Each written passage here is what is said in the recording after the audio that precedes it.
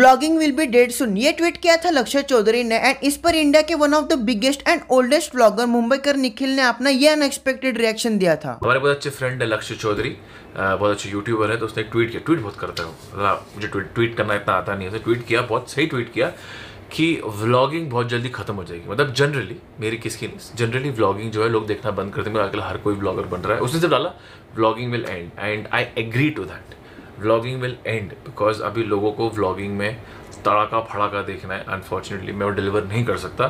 सो so, मुझ जैसे कि ले व्लॉगिंग शायद लॉन्ग टर्म पे नहीं चलेगी बट क्या पता कभी लोग ज़्यादा खट्टा खाने के बाद बोलते हैं ना हेल्दी आना है तो शायद इसे शिफ्ट हो जाए।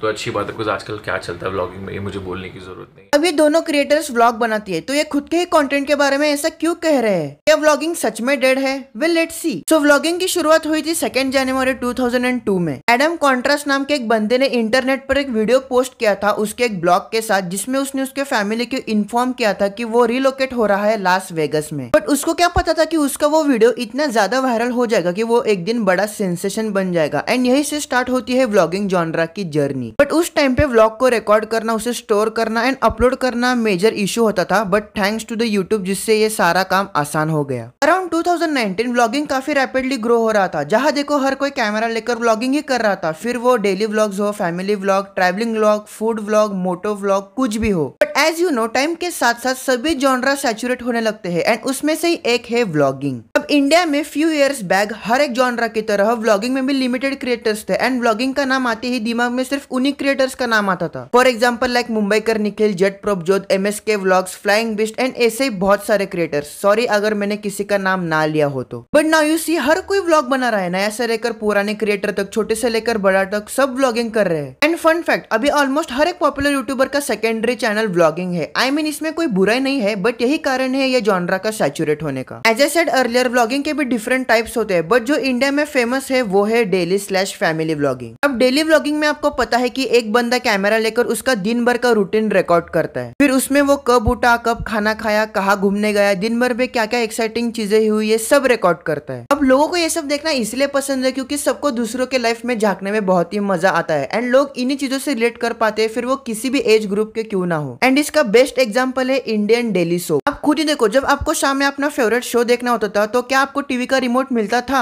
नहीं, क्योंकि मम्मी टीवी पर सास बहू की लड़ाई देखने में बिज़ी रहती थी। एंड यही सब ड्रामा आपको व्लॉगिंग में भी दिखता है, इसलिए लोग वहाँ पर अट्रैक्ट होते हैं। एंड अभी क्योंकि हर एक डेली व्लॉगर का वीडियो सेमी फील होता है तो लोग भी कितना ही क्रिएटर्स के लाइफ में जाकर देखेंगे। एज ए क्रिएटर आपको टाइम के साथ चेंज होना पड़ता है। आपके कॉन्टेंट में वेरिएशन लाना टाइम के साथ इज़ वेरी इंपॉर्टेंट नहीं तो क्रिएटर्स को इरेलीवेंट बनने में ज़्यादा टाइम नहीं लगता। And due to the lack of innovation new upcoming creator successful नहीं हो पाते। अब इसका अच्छा सोल्यूशन है ऑडियंस को कुछ नया देना। तो ये कैसे कर सकते हैं? फॉरेन क्रिएटर से इंस्पिरेशन लेकर। For example Logan Paul Faze Rug and also Airrack जैसे व्लॉग स्टाइल वीडियो से। तो अगर आप इन क्रिएटर्स के वीडियोस को देखोगे तो ये व्लॉग कम और एक प्रॉपर कोई टॉपिक के ऊपर वीडियो ज़्यादा लगता है। I mean it's fusion of a vlogging and different genre for example Airrack is a popular creator जो आरएल कंटेंट बनाता है तो वो उसके मेन चैनल पर के वीडियोस के बनाने का बिहाइंड द सीन्स उसके secondary vlogging channel also Airrack पर पोस्ट करता है। So it's a fusion of a behind the scenes and daily vlogging and remember ये क्रिएटर्स उनकी लाइफ में कोई एक्साइटेड चीज़ होती है, जो उनको लगता है कि ऑडियंस को पसंद आएगी, इसलिए वो रिकॉर्ड करते हैं, ना कि वीडियोस के लिए ज़बरदस्ती अपनी लाइफ को एक्साइटिंग एंड फेक दिखाएँगे। ऐसा मैं इसलिए कह रहा हूँ क्योंकि बहुत से मोटो व्लॉगर्स वीडियो को एक्साइटिंग बनाने के लिए फेक रोड रेस एंड लोगों के साथ झगड़ा एंड एक्सीडेंट दिखाएँगे which is absolutely wrong and if you notice तो अब ब्लॉग सिर्फ़ एक फॉर्म ऑफ़ कंटेंट में लिमिटेड नहीं रहा। Now you can watch blog in a short form and as well as in a live stream अपने Instagram या फिर यूट्यूब पर रील्स एंड शॉर्ट्स देखे होंगे, जहाँ पर लोग अलग अलग प्लेसेस को एक्सप्लोर करके उसकी समरी को अंडर 60 सेकंड्स में डिलीवर करते हैं and this is called mini vlogs फिर वो किसी से भी रिलेटेड हो सकते हैं food day in my life movie reviews tourist places etcetera and you know अभी शॉर्ट फॉर्म कंटेंट कितना ज़्यादा पॉपुलर है. And second is vlogging while live streaming आपने कुछ क्रिएटर्स को देखा होगा जो स्पेसिफिक प्लेस से लाइव स्ट्रीम करते हैं, जिससे व्यूअर्स को रियल टाइम में आप जो एक्सपीरियंस कर रहे हो, वो देखने का मौका मिलता है. प्योर अनकट इसका अच्छा एग्ज़ाम्पल है IShowSpeed if you know him तो आपने देखा होगा कि वो काफ़ी सारे लाइव इवेंट्स फुटबॉल मैचेस जू as well as different country से लाइव स्ट्रीम करता है. एंड इंडिया में बात करें तो रचित रो ने भी काफ़ी बार ऐसे टाइप के लाइव स्ट्रीम्स की है। अब आता है असली क्वेश्चन क्या व्लॉगिंग सच में डेड है?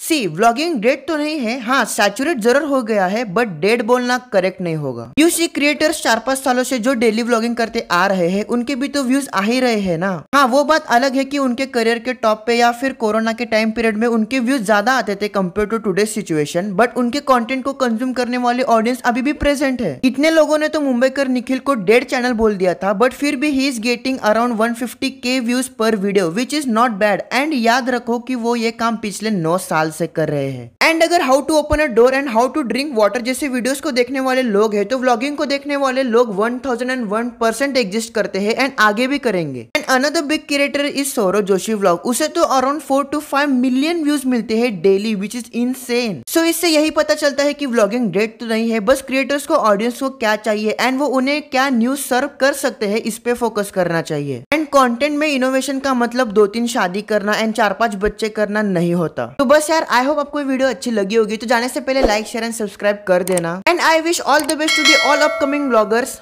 bye